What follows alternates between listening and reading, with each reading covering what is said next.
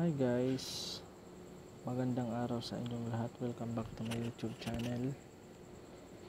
Mm, sa video na ito guys, tuturuan ko kayo guys kung paano gamitin yung itong limit at market dito sa spot trading. So unang-unang itatopic natin guys is itong limit. So click natin yung limit. Automatic pag click natin yung limit, yan yung naka-default yan guys. Yan yung guys. So, ano ba yung limit? So, ang ibig sabihin guys ng limit guys, tayo dit tayo yung magse-set o magde-decide kung saan tayong presyo bibili or saan tayo din magse-set kung saan tayong price magse-sell. Yan guys. Yun yung basic explanation ng limit. So, yun guys, papakita ko sa inyo guys kung paano para mas maintindihan nyo guys yung paano gamitin yung limit. So, yun. So, unang-unang gagawin natin dito guys, di ba nasa spot trading na tayo, naset na natin siya sa limit. Aalamin natin guys dito kung ano ba yung available natin na pambili. O yung pambili natin ng coins. So, dito sa akin, meron akong available na 19.85 USDT. Yeah, USDT. So, by the way pala guys, sa mga hindi pa alam kung paano mag-deposit dito sa Binance ng USDT so panoorin nyo na lang po yung videos ko guys dyan kung paano mag-cash in dito sa Binance ng USDT so yun guys panoorin nyo na lang. So balik tayo dito sa topic natin guys. So yun may available na tayong 19.85 USDT yan yung pam gagamitin natin na pambili. Ang susunod natin gagawin guys maghahanap tayo ng coins na pwede nating bilhin. Balik i-click nyo lang to guys. BTC USDT para makapamili tayo dyan ng coins. So yun. Bali dito guys. Di ba USDT yung gagamitin natin? Pambili. Bali hanapin nyo na lang dito guys yung USDT dito dapat USDT din yung hanapin nyo So, yun guys. Nandito na tayo sa USDT file. Lahat ng coins na yan guys, pwede na kayong bumili dyan. Depende sa kung anong gusto nyong bilhin yung coins. Pwede nyo siyang bilhin kung alin dyan yung gusto nyo. O pwede nyo din naman pwede nyo din naman i-search kung kabisado nyo na yung abbreviation ng coins na gusto nyong bilhin pwede nyo siyang i-type na lang dyan para hindi na kayo mag-scroll. So sa ngayon, ang gusto kong bilhin guys is yung e-cash o yung tinata yung abbreviation niya is yung SEC. So ita-type ko lang siya dyan guys. So yun, automatic ito yun. I-click mo lang siya guys. Automatic na andito na siya sa taas. USDT sec. Dapat yan yung nakapair niya kasi yung USDT yung gagamitin natin na pambili. So yun. Naset na natin siya. So unang unang so yun naset na natin lahat. Nakapamili na tayo ng coins. Meron na tayong balance na pambili. Bago tayo bumili ng coins dapat gamitin tingnan muna natin yung candlestick guys. Yan. Gagamitin natin yung limit. So yan. Check natin siya guys. Bali dito pwede nyong pwede nyo siyang mamili na lang kayo guys. Kung ilang hours yung gusto nyo pwedeng 15 minutes pwedeng 1 hour 4 hours 1 day. Kung yung yung galaw ng candlestick kung anong gusto nyo. Pero sa akin mas gusto ko yung 1 hour lang. So yun guys. Papaliwanag ko dito guys kung paano gamitin yung limit. So kung nakikita nyo guys itong dulo ng candlestick nya guys itong may dilaw. Ang ibig sabihin yan guys yung 0.000.80 68 or 8048 yan yung current price ng SEC sa ngayon as of this moment na nagbi-video nagre-recording tayo So paano natin magagamit dito yung limit sa buy? Like for example, 'di ba? Ito yung pinakamababang ito yung current price niya. Ito yung pinakamababang price ni SEC. Yan. Kung sa tingin natin dyan guys, kung sa tingin natin dyan guys, itong current price ni SEC, pwede ulit siyang bumagsak. Pwede siyang umabot ulit dito sa 0. 000.7700 pwede tayong mag-set dito ng buy dito guys pwede tayong mag-set dyan ng buy dito sa limit yang pwede natin gayahin yan yung price nyan so ayun guys pag gusto natin mag buy dyan nakita na natin yung candlestick nakita na natin yung candlestick i-click lang natin dito guys yung buy para pumunta tayo sa pag buy yan guys. Gayahin lang natin yung price na yan guys. Buy. Bali dito guys. Dito natin siya i-edit. Babaguhin natin siya dun guys. Babaguhin natin siya based dun sa price na nakita natin. Yun sa sa tingin natin na aabot ulit siya dun sa price na yun na pinakamababa. Dito natin siya i-set. So yun. Nakita na natin. So, babaguhin natin siya. Gagayahin natin siya doon sa nakita natin kanina sa candlestick, yung pinakamababa. So, nakita natin na pinakamababa niya is yung 7700. Yun. Naset na natin siya guys. So, dito pala guys, di ba may makikita kayo ditong percentage. Itong percentage guys. Ang ibig sabihin yan guys, kung ilang porsyento ng 19 USDT ang gusto kung ilang porsyento ng 19 USDT yung ibibili mo. Like for example, clinic natin ito guys 25%. So yung 25% ng 19 USDT is yung ito yung 25% na guys. Itong 4.96 yan. Yan yung purpose nyan guys. 50 click natin siya 50 50 yan yun 50% ng 19.85 14 100 so yun guys pag yan yung ibig sabihin ng mga percentage na yan guys. Kung ilan yung gusto nyo lang na ibili based dun dito sa available balance mo na pambili. Yan guys naintindihan nyo po ba yung ibig kong sabihin? So yun guys. Sa kabali pala tsaka nga pala dito sa spot trading guys ang pinaka minimum amount na pwede nating i-buy dito guys dapat above 10 USDT kasi kung iti-testing natin siya guys iti-testing natin siya ng 10 USDT siya guys. For example 10 USDT hindi po magpuproceed yung order natin guys. So yun guys. Hindi siya magpuproceed as of this moment. So yun. Click natin siya. So bali ang eh, pwede na sa ngayon.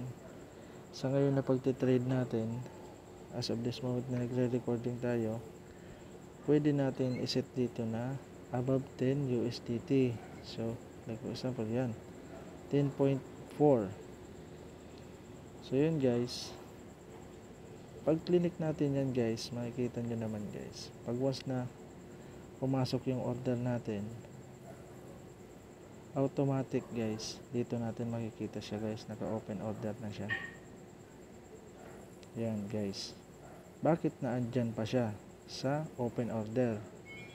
Ang ibig sabihin lang niyan guys nakaset kasi siya dun sa pinakamababa. Yung current price niya na andito pa pero pag itong current price niya guys na bumagsak siya bumagsak yung current price niya tapos umabot siya dito guys sa sinet natin na buy na limit sa 0.00077700 automatic makakapag-buy tayo ng coins. Naintindihan nyo po ba guys? So yun. Automatic makakapag-buy tayo yan. So tapos na tayo sa buy dito sa limit. Proceed na tayo sa sell. So dito nga pala guys makikita nyo guys nakaka meron ditong nakalagay na cancel. Cancel. Any moment guys like for example nag, biglang nagbago yung isip nyo gusto nyong i-cancel pwede nyong i-cancel yan guys.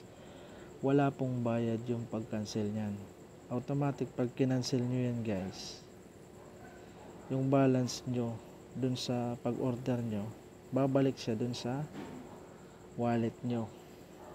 So kung makita nyo guys nag-open order tayo kanina nag nag-proceed yung order natin pero hindi natin tinuloy bumalik dito sa available balance yung USDT natin. So ganun pa din yung balance nya so 19.85 ganun so tapos na tayo sa buy. Punta naman tayo sa sell.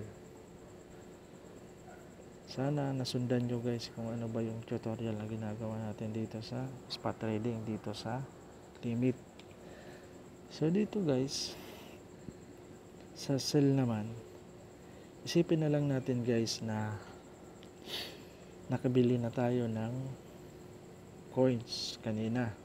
Like for example yung sinet natin kanina sa buy na filled siya. Ang ibig sabihin bumaba yung presyo niya tapos nakabili tayo ng coins. So ba isipin na lang natin na ito na yun guys. Ito na yan. So ito kasing balance na nandito ko guys. Dati ko pang balance yan sa aking spot wallet. Spot wallet guys. Yan. Yung balance ko. So pagpalagay na lang natin na nakabili tayo kanina. So yan so ganun pa din ang bali yung strategy na gagawin natin guys.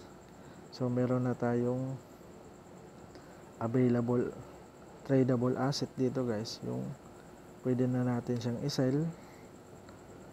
So bago tayo mag proceed ulit sa pagtitrade sa pagsisell balik ulit tayo dito guys sa candlestick guys. Balik ulit tayo dyan guys. Punta tayo ulit dyan tingnan natin ulit yung price nya so ayun guys. Ipagpalagay na lang natin guys na yung nabili natin na coins guys is dito tayo nakapag nakabili kanina. Dito guys dito tayo nakapagbili ng coins. Dito tayo sa price na yun nakapagbili kanina. So, tapos, yung current price na, yung current price niya na ngayon guys is ito. Ito na yun guys. Siyempre, magbebenta tayo ngayon guys. Magsisell tayo. Magsisell tayo. So, napipredict natin na posible siyang tumaas yung coins na yon na pwedeng umangat na siya. Tumaas yung presyo niya. Kung makikita nyo dito guys, na dito yung pwede tayong mag-set dito guys kasi nandito, mayroon tayo ditong resistance. O yung ceiling na tinatawag ceiling resistance. Pwede tayong mag-set dyan na dito sa price na ito dito guys pwede natin tong gawing price sa sell. Ito guys. Yan guys. Kung makikita nyo guys sana maintindihan nyo. So yan guys. Dito sa price na to kung makikita nyo itong ano, pwede natin siyang gamitin na price sa sell dito sa limit. Yan guys, pwede natin yung gamitin na 0.0008728 pwede natin siyang gamitin. Kung sa tingin natin na itong presyo ng coins is tataas siya umabot siya dyan pwede natin dyan isell pwede natin yung gamitin. So yun guys. Balik tayo dito guys. Punta tayo ulit dito. Kung nakita na natin guys na nakita na natin yung candlestick na possible po- possible siya na maging ganyan yung scenario niya click na natin tong itong sell. Click natin siya guys para makapagbenta tayo bali tandaan nyo guys ha? Ito yung price na gagamitin natin guys. Itong pwede, nat, pwede tayo mag set dito guys. Itong bali ito dito. Kahit itong o para hindi kayo ma, hindi tayo mahirapan bali ito nilang gamitin natin guys. Yan. 08728 so yun guys. Punta tayo sa cell click natin yan cell punta tayo dyan. Punta tayo dyan sa cell so yun guys. Like for example expect natin o sa tingin natin na aabot siya ulit dun guys sa sa price na yon guys. Balik tayo ulit. Nakalimutan ko yung price niya. So yun. Pwede tayo mag set dito 8766 balik, balik tayo sa cell dito. Click natin ulit yung cell. 8766 so click natin siyang cell. So yun guys. Dito natin siya i-set ito sa 87 bali dito natin ulit siya guys ha. Dito natin ulit siya babaguhin. 87 66 so ganun ulit guys. Ang ibig sabihin nito dito naman sa cell. Ang ibig sabihin naman yan guys kung ilang percentage yung ibebenta mo kung kung ilang percentage yung ibebenta mo dito sa total na sec na nabili mo. So yun guys naintindihan nyo ba ba? Halimbawa 25% 25% 25% lang ng sec ang gusto mong ibenta or yung 50%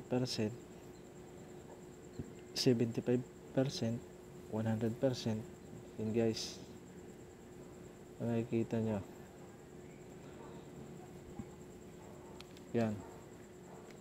Tapos dito pala guys kung makikita nyo sa bawat galaw natin ng percentage nya guys percentage nya dito dito natin makikita yung ito yung 25% 25% ng nito. 25% so pag clinic natin siya guys 20, yan yung 25% ito yung expected na makukuha natin na USDT naintindihan nyo guys? Pag binenta natin yung 25% halimbawa guys ito. Pag binenta natin yung 25% ito yung expected na makukuha natin na USDT kasi ibebenta natin dyan guys ha? Yan yung expect na makukuha natin USDT so tingnan nyo guys ha? Pag tinaasan natin yung 40% bali tumataas din yung USDT nating makukuha kasi tumataas yung quantity na ibebenta natin na SEC. Nakikita nyo ba? Napapansin nyo guys? So pag tinodo natin siyang 100% ito guys 100% bali parehas na siya dito guys. Kung mapapansin nyo guys ha? Mapapansin nyo. Yun. Bali pag nabenta natin siya ng 100% ito yung makukuha nating USDT so yun guys nakikita nyo so yun. Kung naintindihan nyo na yan guys ipoproceed natin siya ng kung sa tingin na, sa tingin natin natataas yung presyo ng SEC dito sa price na yan. Diyan natin siya is- so yun guys i-sell natin siya. Example lang. I-sell natin siya. So yun. Confirm. Automatic guys automatic guys nandito na siya naka open order na siya guys naka-open order siya. Bakit naka-open order ulit siya? Kumbaga nakaabang na siya. Nakaabang na siya. Ito yun, open order. Ito na yun guys, open order. Bakit naka-open order pa siya? Kasi mas mataas yung sinet natin na price. Ito guys, mas mataas yung sinet natin na price kumpara dito sa current price. Ano bang, bakit naka open order pa siya? So pag once na yung So pag once na So ito yun guys, naka-open order, yung open order natin. So pag once itong current price niya, yan yung current price niya, itong may sa taas. Pag once na umabot yung current price niya dito sa sinet natin guys, dyan sa sinet natin, automatic mafe-fail yung mafe-fail yung order natin. Kumbaga may execute siya. Mabibenta na yung coins natin. So yun guys, naintindihan nyo ba? Yun. I hope na naintindihan nyo yung limit. Yung buy and sell na limit. So yun, automatic pag nag umabot yung price niya dito sa sinet natin automatic mabibenta na siya guys. So yun. Tapos na tayo sa limit. I hope na naintindihan nyo yung limit guys I hope na naipaliwanag ko ng maayos. So yun. Bali yung sunod natin na magiging topic guys is itong tapos na tayo dito. Already check na yung limit. Bali sunod natin itong market. So bali pag clinic mo siyang market ulit siya dyan guys automatic automatic nakadepot na siya dyan guys so yun. So bali dito sa market guys napakadali lang ditong napakadali lang dito. Ang ibig sabihin lang dito guys ng market ay by the way pala guys balik ka-cancel muna natin itong open order natin dyan guys bali hindi natin itutuloy yan. So dito ulit guys. By the way pag kinancel natin siya wala pong bayad. Di po tayo mababawasan dyan guys. Kaya cancel natin. Yung kinancel natin yung amount na binibenta natin babalik ulit siya sa ating spot wallet. So cancel natin. So yun. Bumalik siya. So punta tayo ulit dito sa buy dito sa market so dito sa market guys napakadali lang. Kasi dito guys sa market halimbawa sa market ito. Ito yung current price niya. Ito yung current price sa ngayon ng SEC. Pag once na nag-buy ka guys pag once na nag-buy. Halimbawa may 19 USDT tayo guys. Di ba yung minimum? 10.40 10.4 automatic.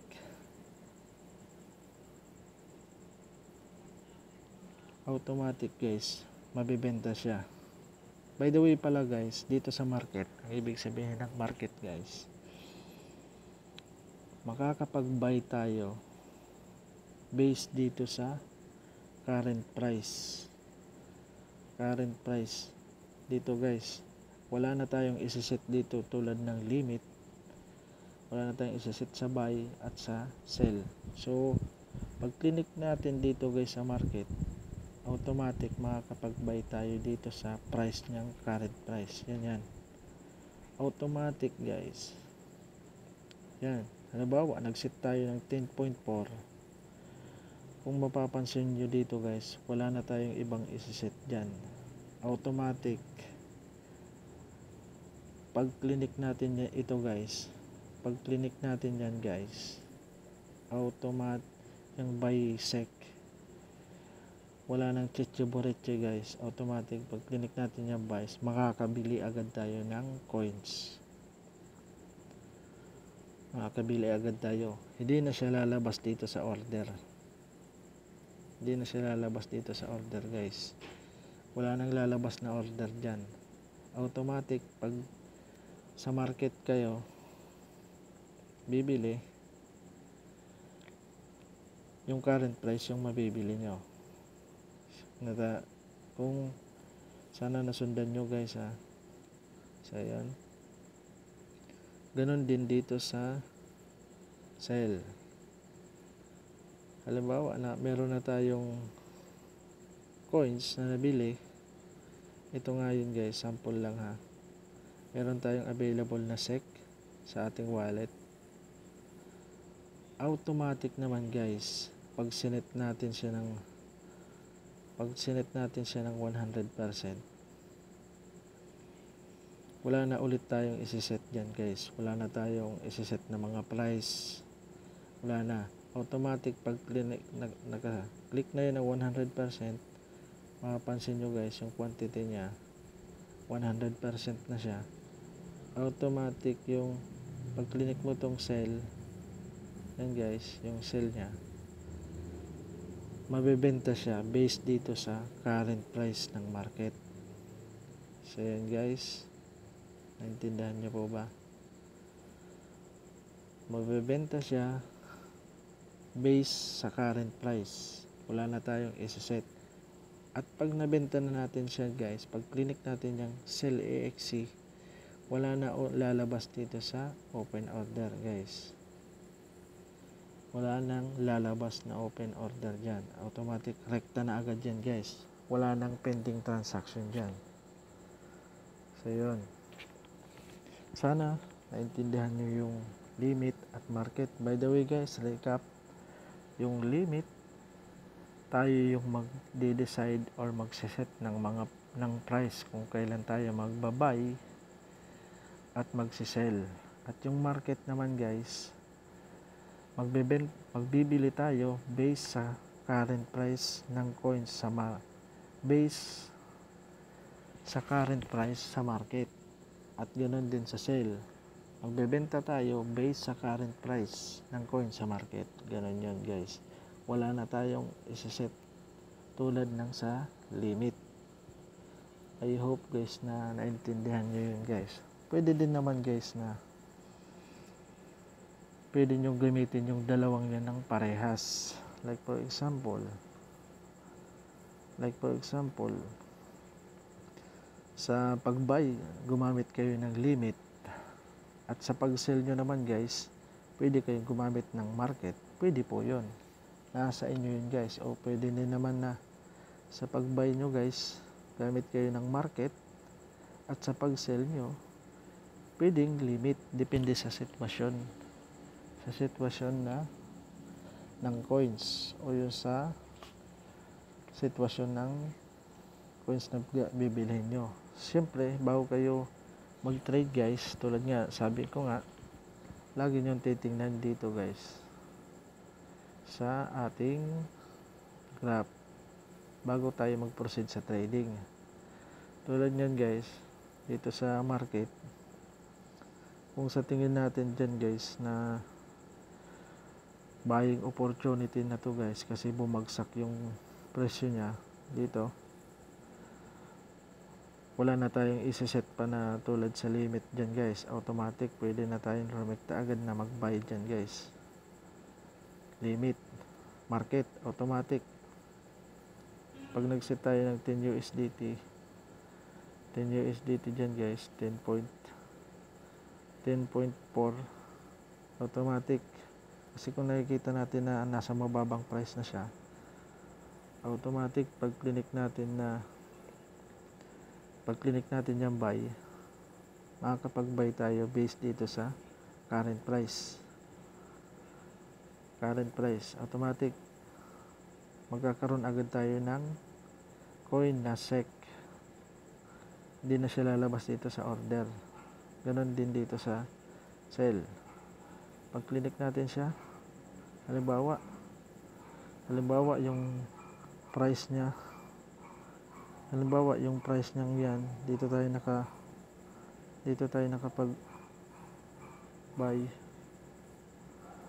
Tapos yung dyan tayo nakapag buy. Tapos yung price niya tumaas. Tumaas umabot siya dyan guys.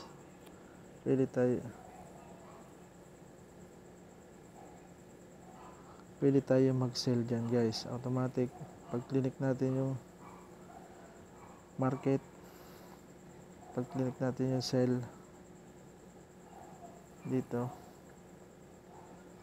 Pag click natin yung halimbawa 100% automatic. Pag tumaas na yung yung price nya pag click natin yung sell pag tumaas yung price nya automatic. Mabibenta siya dito sa current price kung sa tingin natin tumaas na. Kung sa tingin natin tumaas na. So I hope guys na nasundan nyo yung tutorial natin ngayon sa limit tapos market. So I hope na nagustuhan nyo yung video kong itong tutorial. So please like subscribe and hit the notification guys. Maraming salamat po. Um, bali pala sa part 3 ng video natin guys ito na yung magiging topic natin guys. Itong limit tapos OCO so paabangan nyo na lang yun guys yung magiging part 3 natin ng video natin guys. So ayun lang. Maraming salamat po. God bless